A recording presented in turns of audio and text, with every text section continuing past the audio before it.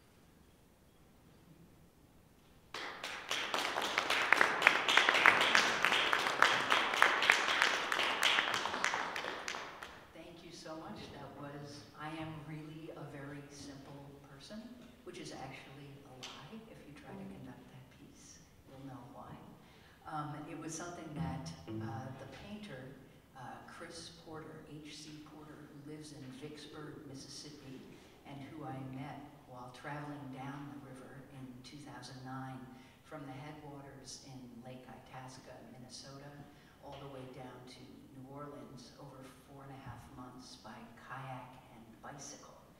And um, have a feeling that anyone who says I am really a very simple person is probably not, in fact, telling the truth.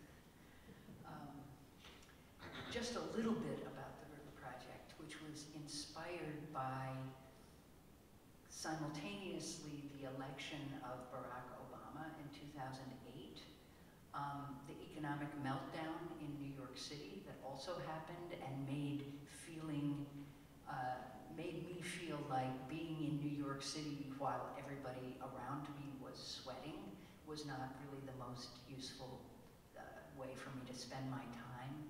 And also a sort of delayed reaction to Hurricane Katrina, you know, and the things that happened during Hurricane Katrina, um, made me really want to understand something about the country. And it felt like traveling down the spine of the country was the right way to have that experience. So it was sort of like a one-person WPA project, you know, like during the Depression, how they sent out artists to document the country. I felt like I sort of invented my own one-person WPA project. And so uh, when I came back from the river, I came back with all these ideas for pieces and spent probably a good part of the next five years, but really it's bled forward into the present day in ways that my music was transformed by the journey. Um, so yeah, the next piece we'll play for you is called All Good As Luck.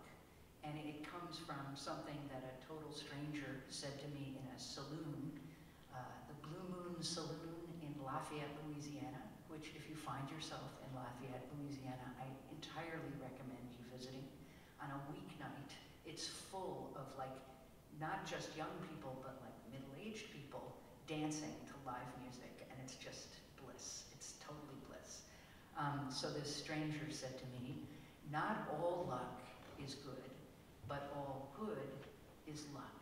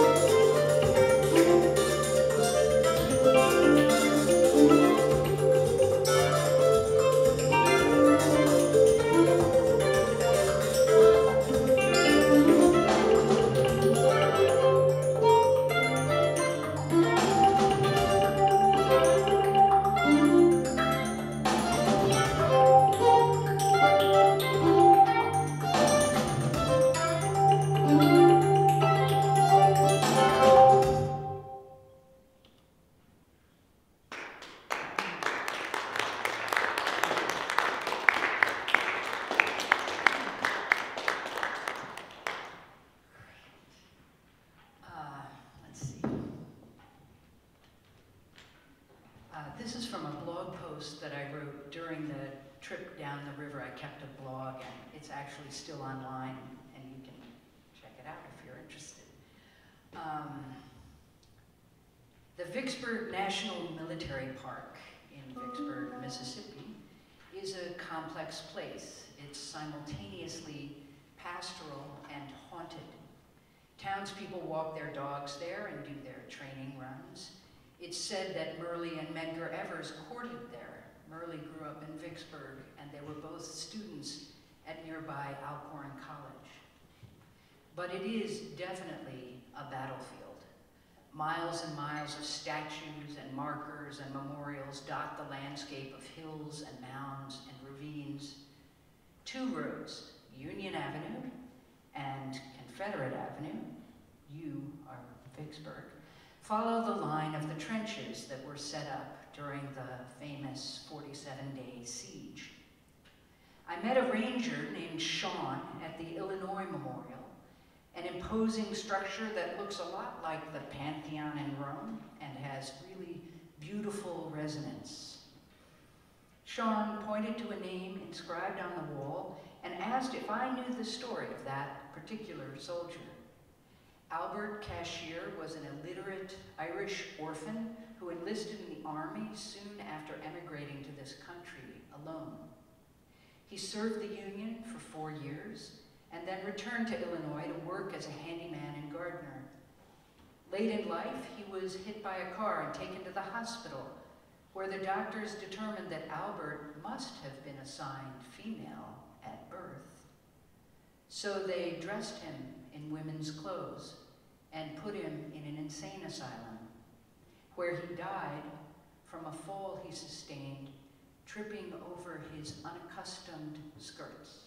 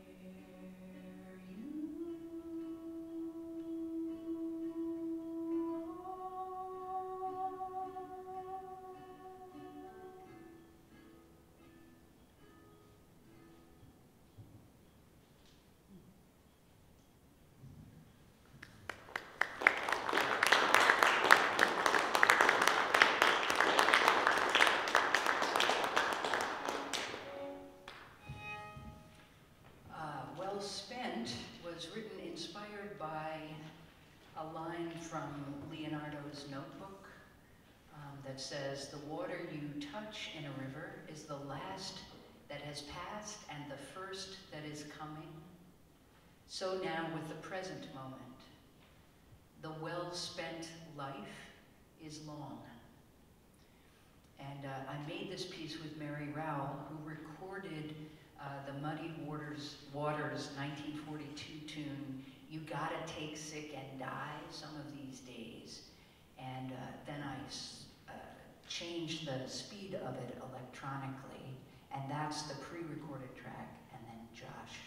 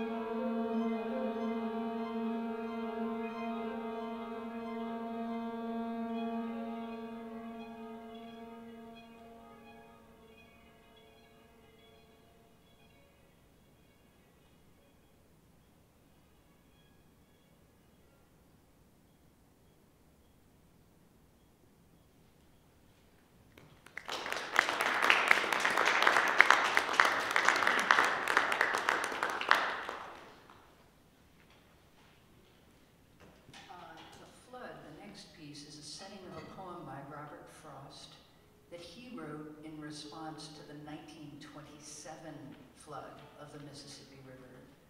Um, that I'm imagining that he might have responded to somewhat the same way as I responded to Hurricane Katrina.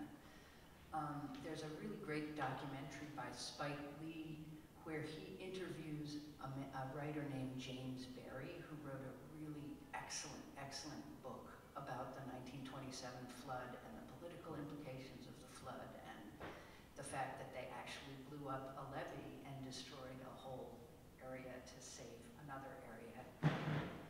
It's all really powerful and interesting and disturbing. And, uh, and so this is, uh, yeah, the setting of Robert Frost's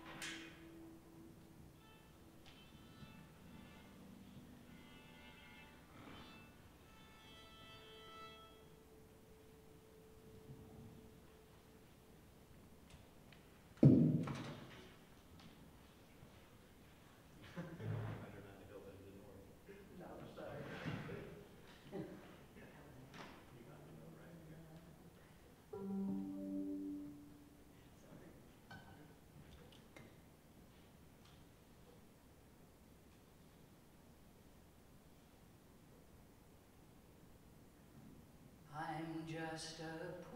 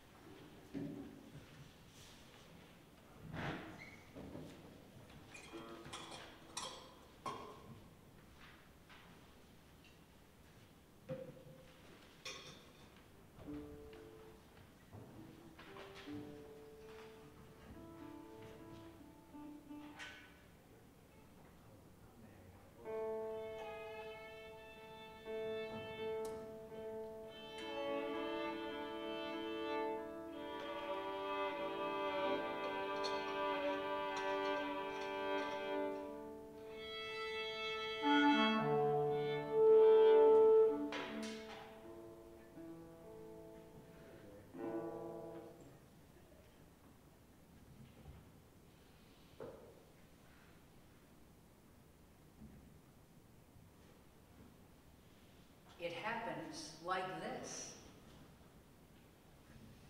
I was outside St. Cecilia's rectory smoking a cigarette when a goat appeared beside me. It was mostly black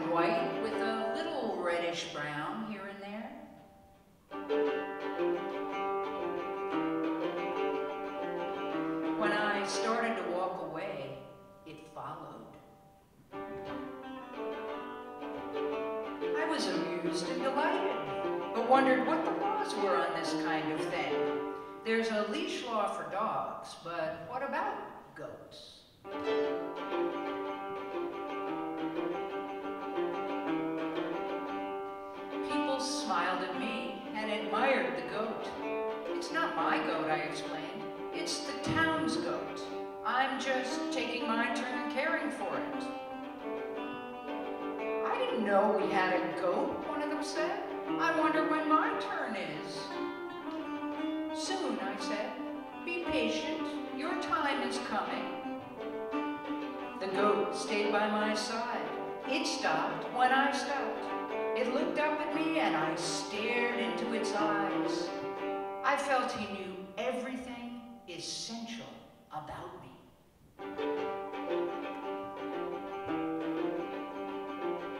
We walked on. A policeman on his beat looked us over. That's a mighty fine goat you got there, he said, stopping to admire. It's the town's goat, I said. His family goes back 300 years with us, I said, from the beginning. The officer leaned forward to touch him, then stopped and looked up at me. Mind if I pat him, he asked. Touching this goat will change your life, I said. It's your decision. He thought real hard for a minute and then stood up and said, What's his name? He's called the Prince of Peace, I said. God, this town is like a fairy tale. Everywhere you turn, there's mystery and wonder, and I'm just a child playing cops and robbers forever. Please forgive me if I cry.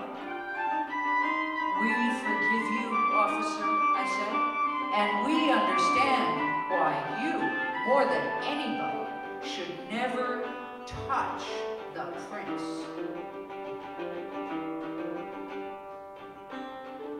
The goat and I walked on. It was getting dark, and we were beginning to wonder where we would spend the night.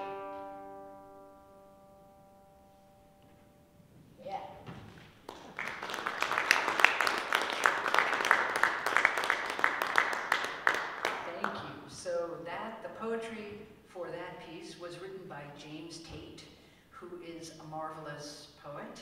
And um, it was part of the River Project. I really felt like I had maybe run into a goat, or I could have run into a goat.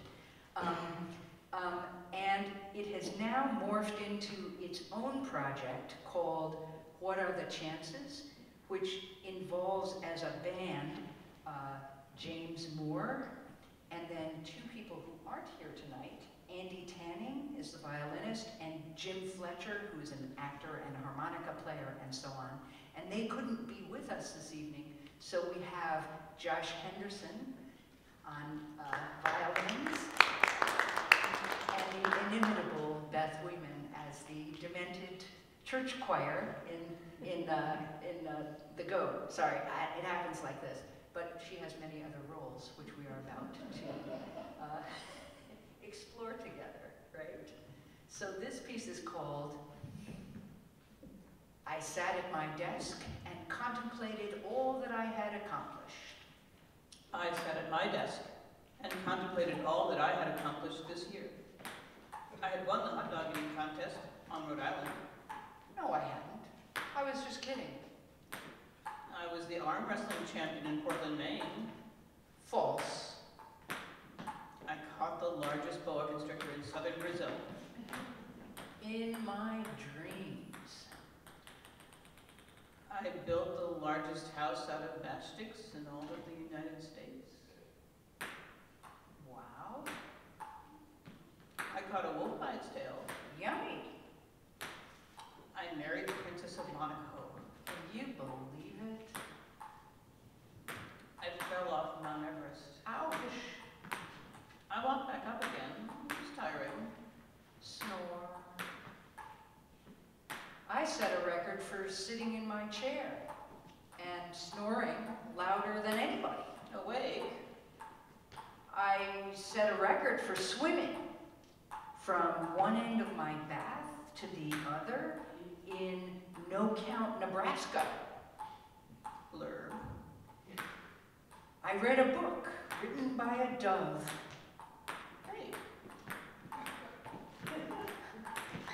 I slept in my chair all day and all night for 30 days. phew. I ate a cheeseburger every day for a year. I never want to do that again. A trout bit me when I was washing the dishes. But I couldn't catch him.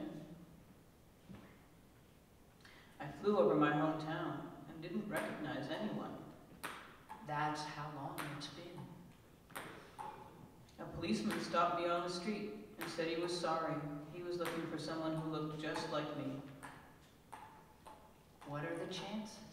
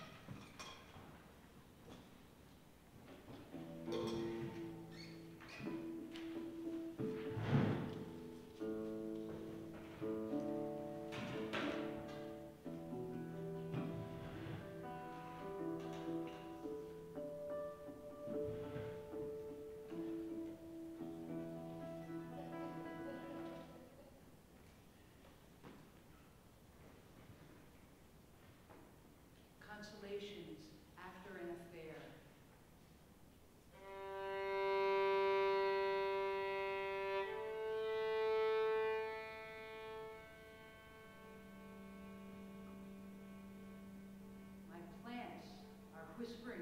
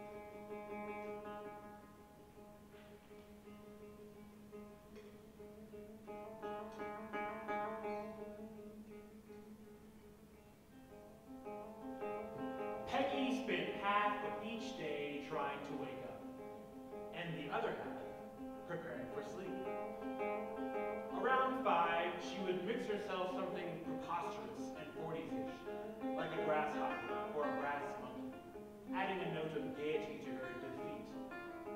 This shadow life became her. She always had a glow on. That is, she carried an aura of innocence as well as death.